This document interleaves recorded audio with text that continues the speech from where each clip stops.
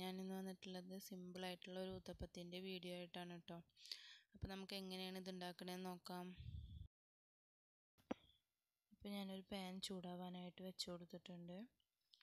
ഇനി അതിലേക്ക് അത് ചൂടായതിന് ശേഷം ഒരു രണ്ട് ടേബിൾ സ്പൂൺ സൺഫ്ലവർ ഓയിൽ ആട്ടോ ഒഴിച്ച് കൊടുത്തിട്ടുള്ളത്. ഇനി ഞാനിവിടെ ഒരു രണ്ട് ക്യാരറ്റും ഒരു രണ്ട് മീഡിയം സൈസ് സവാളയും കൂടെ എടുത്തിട്ടുണ്ട്. അതും കൂടെ അതിലേക്ക് ഇട്ട് കൊടുത്തിട്ട് നന്നായിട്ടൊന്ന് വഴറ്റിയെടുക്കണം. അത് വഴറ്റുമ്പോൾ തന്നെ അതിലേക്ക് ആവശ്യത്തിനുള്ള ഉപ്പ് നമുക്ക് ചേർത്ത് കൊടുക്കാം.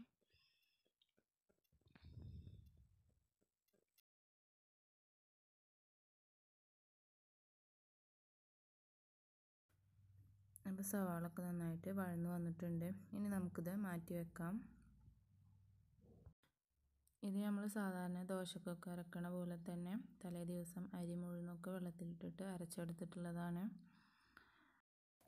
ഇനി ഒരു പാൻ ചൂടാവാനായിട്ട് വെച്ചിട്ടുള്ളതാണ്. ഇതിലേക്ക് ലേശം നെയ്യ് വരട്ടി കൊടുത്തതിന് ശേഷം ഞാനൊരു ഒന്നര കയ്യിൽ ദോശമാവാണ് ഒഴിച്ചു കൊടുത്തിട്ടുള്ളത്. അത് മെല്ലെ ഒന്ന് പരത്തി കൊടുക്കുക. എന്നിട്ട് നമ്മൾ വഴറ്റി വെച്ചിട്ടുള്ള ക്യാരറ്റും സവാളയും കൂടെ അതിന്റെ മേലേക്കൊന്ന് ഇട്ട് കൊടുക്കാം അപ്പോൾ ദോശ ഇനിയും വലുപ്പം വേണമെന്നുള്ളവർക്ക് കൂടുതൽ മാവ് ഒഴിച്ചിട്ട് ദോശ വലുപ്പമുള്ളതാക്കാം. അതിന് കുഴപ്പമില്ല. ഓരോരുത്തരുടെ ഇഷ്ടത്തിനനുസരിച്ച് ചെയ്യാം. ഇനി നമ്മളതെല്ലാം കൂടെ ഇട്ട് കൊടുത്തതിന് ശേഷം അതിന്റെ മേലേക്ക് ലേശം മല്ലിച്ചപ്പാണ് ഇട്ട് കൊടുക്കുന്നത്. മല്ലിച്ചപ്പും കൂടെ ഇട്ട് കൊടുത്തിട്ട് നമുക്കിതൊന്ന് അടച്ചു മൂടി വെക്കാം.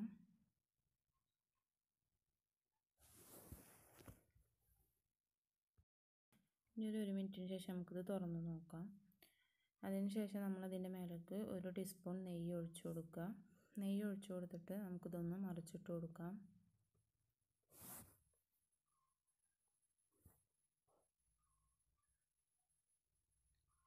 മറിച്ചിട്ടിട്ട് ഒരു മിനിറ്റും കൂടി നമ്മളിതൊന്ന് വേവിച്ചെടുക്കുക.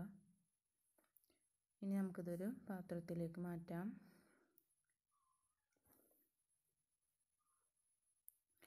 ഇനി നമ്മൾ അടുത്ത ദോശ ഇങ്ങനെ തന്നെ ഉണ്ടാക്കാം.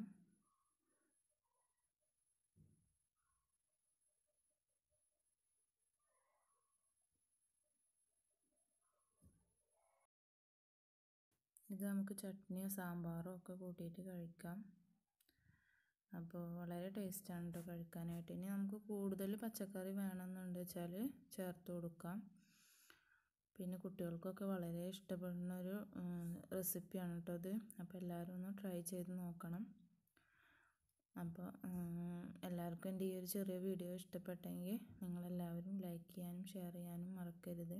അപ്പോൾ നമുക്ക് അടുത്ത വീഡിയോ ആയിട്ട് കാണാം. Okay bye